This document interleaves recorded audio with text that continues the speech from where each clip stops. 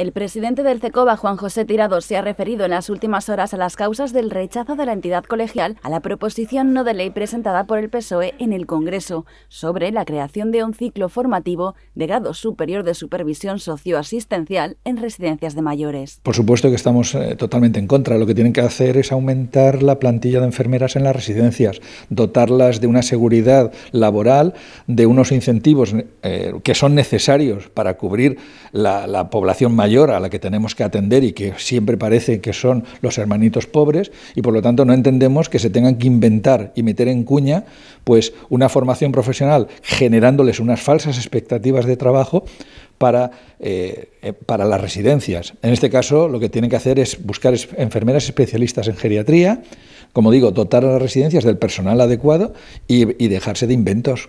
En esa necesidad de ampliar la ratio enfermera, el presidente del CECOB hace referencia a la cualificación del personal sanitario y enfatiza la distribución del trabajo en estos centros para evidenciar la innecesaria irrupción de esta figura profesional propuesta por el Grupo Socialista. Las funciones las tienen las profesiones colegiadas, las profesiones universitarias, funciones. En todo caso, serían tareas y actividades que sí que se delegan en personal auxiliar. Las auxiliares son lo más importante en el trabajo de una residencia.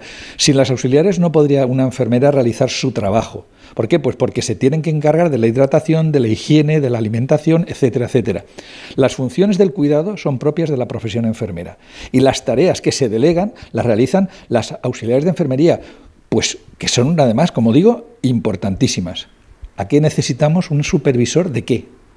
Para eso está la enfermera y la supervisora de enfermería que están en las residencias, que es la que hace turnos y la que hace pues el reparto, digamos, de esas eh, tareas que se tienen que realizar por parte del personal auxiliar. Hace unos días el CECOBA comunicaba en una nota de prensa que el 75% de las residencias pertenecen al sector privado o concertado, cuyo principal objetivo es lucrativo. Del mismo modo, añadía que la calidad de la atención está afectada por la ratio deficitaria de enfermeras, el bajo sueldo que deben asumir y la escasa consideración que reciben.